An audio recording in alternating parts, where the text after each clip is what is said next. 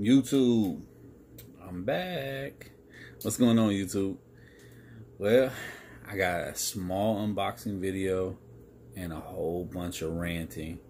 Don't worry, it's not a lot of negativity, but I don't have a lot of friends, so you guys like my counselors. You know what I mean? I just gotta kind of gripe to y'all. If you own pets, I don't mean to offend you sometimes I wonder, like, we have a dog. It's a, a rescue dog. Okay. And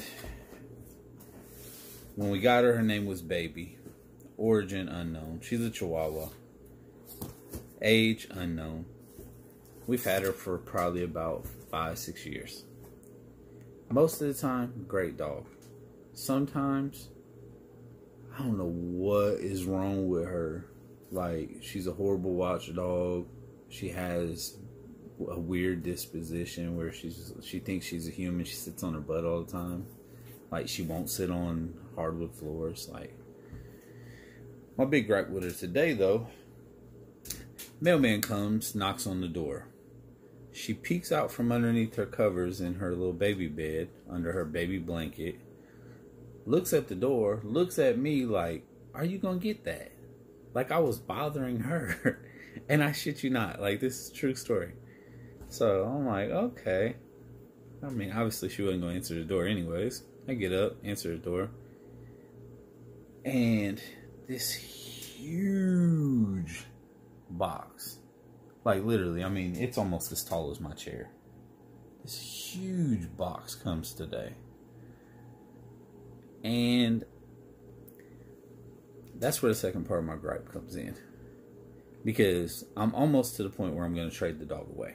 Um, I've been keeping my eye on this little chipmunk that we have that hides underneath our porch. Um, like he peeks out through the lattice work and stuff. Like I think he likes me. We're kind of cool. Um, I haven't started feeding him breadcrumbs or training him or anything yet. I think he'd be a better like guard animal than Daisy would. Um, Daisy's gonna be pissed, but I think the chipmunk might have possibilities. Why you ain't bark when the mailman came? Huh? Why you ain't bark when the mailman came? He gonna bring that big old package on the porch and you ain't even tell nobody. And I'll be don't be scratching on my couch. Huh? Where was you at? What was you doing? Just let us know. Now, don't nobody want to see all that. Don't nobody want to see all that. You got to do better.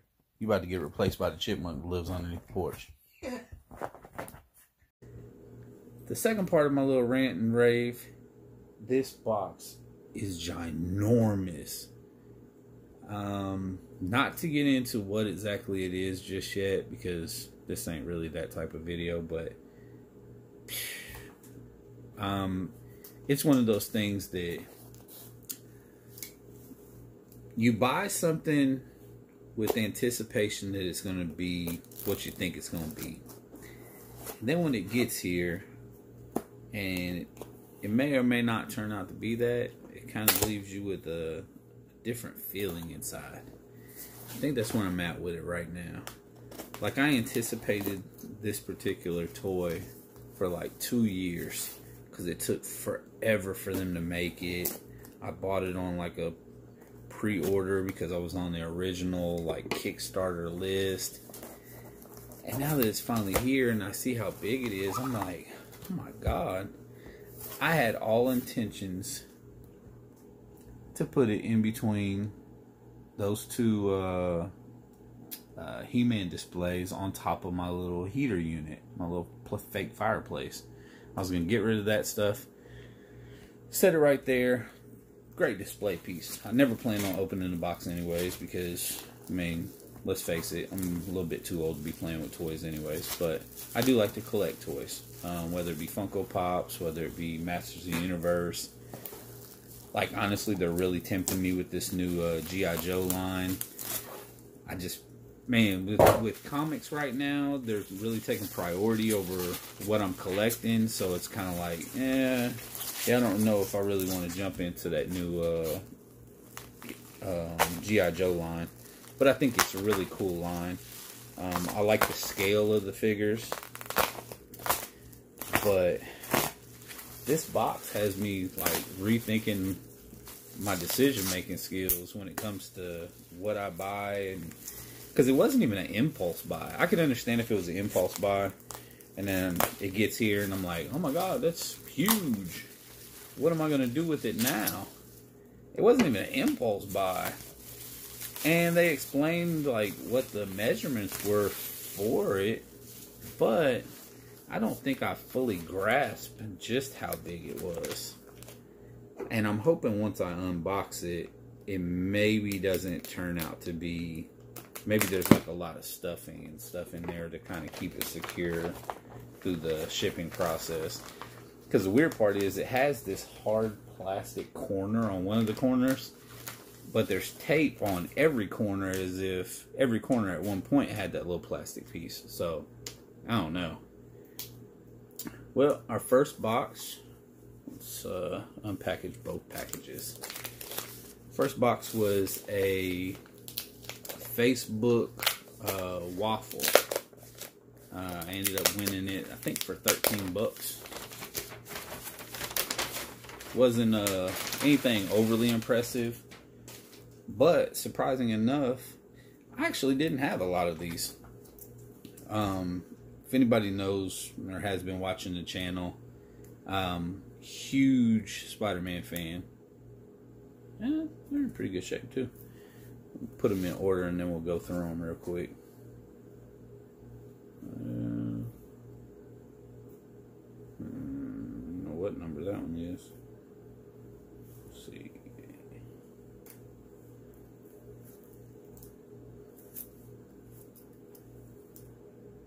I think that's about right.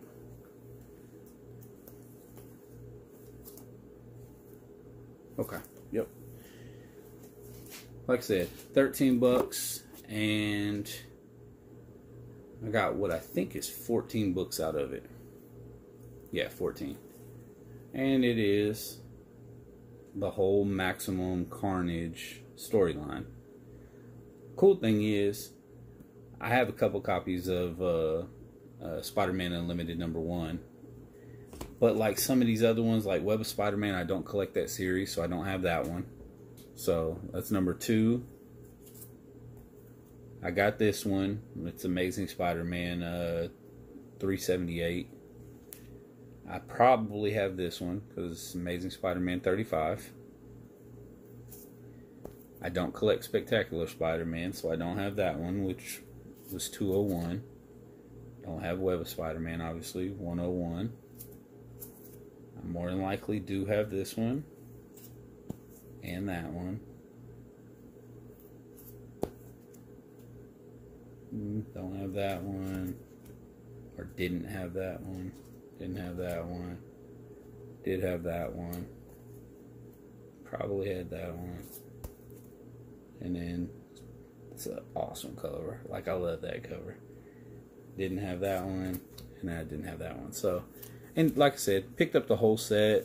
Um, think I bought two slots in his auction. And the grand total was like 13 bucks. So, can't really beat that. The next package is actually from Toy Tokyo. Um, this was part of their. Uh, I'm assuming it was the. I don't know. I can't remember. It was one of the the last conventions. I don't know if it was the New York Comic Con or San Diego Comic Con because my cons are all jacked up this year because they actually didn't take place, so it's kind of hard to follow what's going on with them and whatnot. But I did get through on their website. Uh, it was the only thing that I wanted from this con, with the exception of the stuff that I already picked up. Um, I did get Mr. Compress, uh, My Hero Academia Funko Pop, uh, the Red Goblin, I want to say there was one other one. It's sitting on the table, but there's something sitting on top of it, so I can't even see it. But that's it.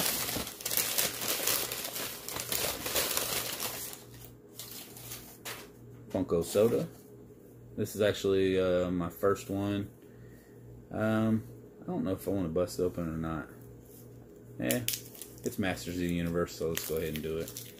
Because I know there is a chance to get a chase out of here. Like I said, this is my first time ever having the... Oh, man, I probably shouldn't have did that. Because uh, it did have the Toy Tokyo uh, little sticker thing on there. Oh, well. I don't plan on getting rid of it, so... I don't know how exactly you open these things up. I don't know if it's a screw off top or just pulls. Oh, okay.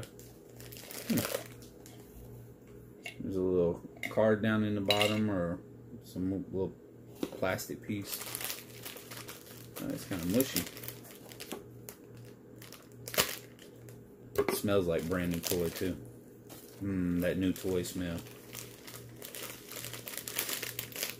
And I think this is just a regular version. Oh no, I think this might be the Chase version because it's metallic. Well, that's cool. Huh. I had to look that up online and see if that's what the Chase was, was the metallic version. But he kind of got some like shiny silver paint on. Like I said, first time ever having the, little soda ones, Funko sodas. But it's kind of neat. He'll get some display time somewhere. Limited 3,000 pieces. Yeah, pretty cool.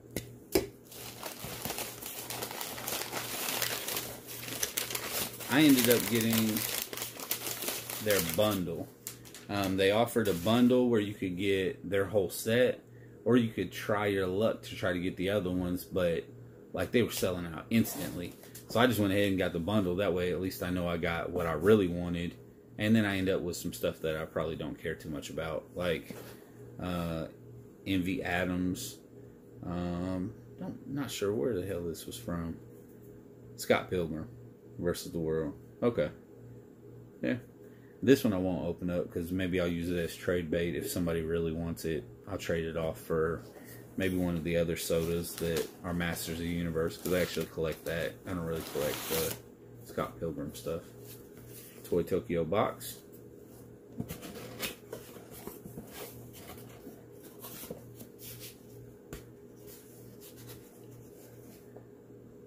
Ninjor. Minty as usual. This is the second time that I've actually got lucky with uh, Toy Tokyo exclusives from. This was New York Comic Con uh, 2020. I also got lucky with uh, San Diego Comic Con ones, so I ended up getting Clawful and Blast-Attak. But I got Ninjor, and the last one is.